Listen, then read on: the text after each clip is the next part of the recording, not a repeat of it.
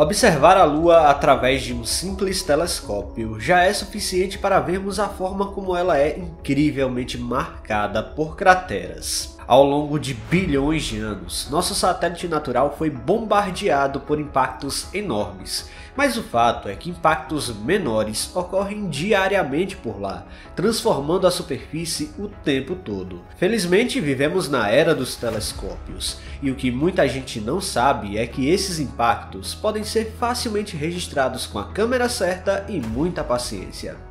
Num caso raríssimo, um impacto de proporções gigantescas ocorreu na Lua, e pesquisadores registraram e acharam até a cratera depois. No vídeo de hoje vamos ver o que pode ser o maior impacto já registrado na Lua em vídeo.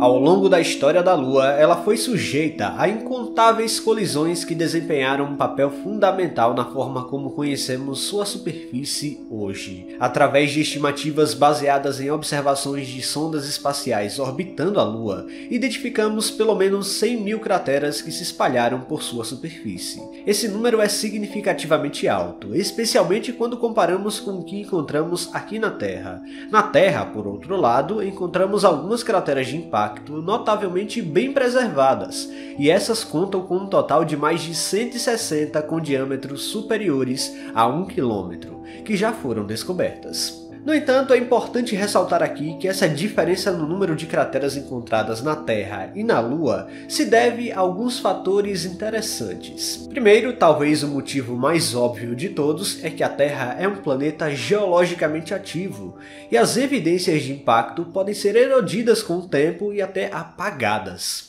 Isso quer dizer que não é que os objetos espaciais têm uma preferência pela Lua em relação à Terra, mas as condições na Lua é que são melhores para a preservação dessas crateras. Algumas estão lá preservadas por milhões de anos. Um dos fatores cruciais é que a Lua não possui uma atmosfera significativa, o que indica que até mesmo os objetos relativamente pequenos podem atingir o satélite e criar crateras de vários metros de diâmetro. Na Terra, a atmosfera vaporiza qualquer objeto que ouse adentrar o ar, mas esse ambiente sem atmosfera na Lua faz com que as crateras sejam deixadas praticamente intactas ao longo de eras, nos permitindo estudar e rastrear a história dos impactos na Lua com clareza. Hoje em dia, graças a sondas espaciais, como o próprio orbitador LRO da NASA, a Lua já foi e ainda é mapeada com resolução recorde usando tecnologia de ponta. A proximidade do satélite natural é outra coisa que ajuda bastante aqui,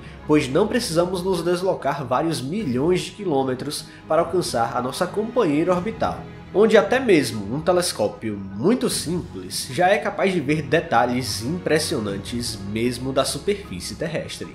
Dessa forma, alguns astrônomos perceberam que eles podiam fazer algo muito interessante, observar crateras sendo geradas por lá, exatamente observando os impactos acontecendo em tempo real. E bom, quando se trata de registrar esses eventos acontecendo na Lua, não é uma tarefa fácil. E os astrônomos mobilizam verdadeiras campanhas para ver o satélite natural em momentos estratégicos. Assim, otimizam-se as chances de capturar esses fenômenos, e todo um conjunto de métodos é empregado para identificar e documentar esses registros. O maior impacto registrado na Lua com telescópio foi feito em 2013, mas brasileiros já conseguiram tal façanha com eventos menores. Veja bem, em 21 de janeiro de 2019, durante um eclipse lunar total, várias pessoas capturaram o impacto através de suas câmeras. Embora possa parecer uma imagem simples à primeira vista, essa captura foi histórica em diversos sentidos.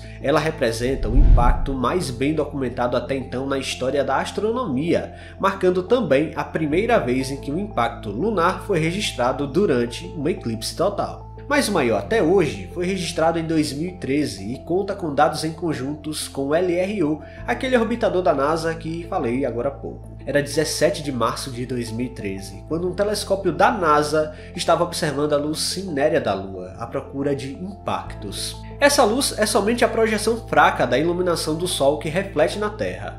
Naquele momento, a região mostrava a escuridão da noite lunar, quando de repente um imenso flash brilhante apareceu na região do mar de Ibrium, no hemisfério norte lunar. De acordo com a NASA, o Flash é um dos mais brilhantes já registrados na história. E bom, foi ocasionado por uma rocha medindo meros 40 centímetros de diâmetro e cerca de 40 kg de massa.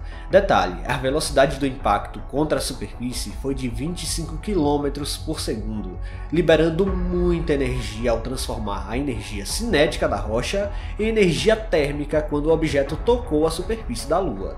No entanto, a fim de evitar qualquer confusão com outros fenômenos, há dois critérios essenciais para confirmar um registro de impacto como esse. Ele precisa ser detectado por pelo menos dois telescópios e deve apresentar algo chamado curva de brilho. O primeiro critério garante uma maior confiabilidade na detecção, enquanto o segundo requer que o flash não desapareça abruptamente, mas exiba uma curva de queda claramente perceptível ao longo dos quadros capturados no vídeo. Se colocarmos o flash em câmera lenta, você verá que ele não desaparece do nada, mas é visível por alguns frames antes de desaparecer. Afinal, aqui muita energia é liberada e ela não some abruptamente. Só que não acabou, pois esse impacto na Lua em 2013 rendeu uma descoberta simplesmente fantástica. Os pesquisadores obtiveram as coordenadas aproximadas do impacto, e a NASA direcionou os esforços do seu orbitador até lá, e pasmem, a cratera foi achada. A cratera em questão pode parecer pequena, com um diâmetro de 18,8 metros, mas mostra como causou um evento surpreendentemente significativo. A energia liberada durante o impacto provocou a expulsão de detritos que viajaram a distâncias impressionantes, se espalhando por centenas de metros na região. Os efeitos desse evento não se limitaram apenas à área circundante, foram identificadas mais de 200 alterações na superfície lunar relacionadas a até 30 km de distância. A cratera resultante do impacto é também apenas uma entre as milhares que foram mapeadas pela poderosa câmera da NASA, e a agência espacial está o tempo todo revisitando as imagens capturadas e comparando com as imagens mais recentes. Essas comparações, conhecidas como pares temporais, permitem identificar uma série de mudanças recentes na superfície lunar, incluindo a formação de novas crateras de impacto que ocorreram entre o momento em que a primeira imagem foi feita e a segunda imagem foi obtida. Esse processo revela a dinâmica contínua da superfície lunar e nos ajuda a entender melhor os impactos e alterações que mudam o nosso satélite natural ao longo do tempo. Então aqui temos o que pode ser o maior impacto já capturado na Lua em vídeo, com direito à identificação de cratera. Isso só prova como a Lua, sem atmosfera, sofre tanto e como nossa superfície poderia ser se não tivéssemos tanto ar à nossa volta. Pessoal, se vocês gostaram deste vídeo, não se esqueçam de deixar o like aqui, que é muito importante. E se você não está inscrito aqui no canal ainda, convido você a apertar o botão inscrever-se aí embaixo. Até a próxima!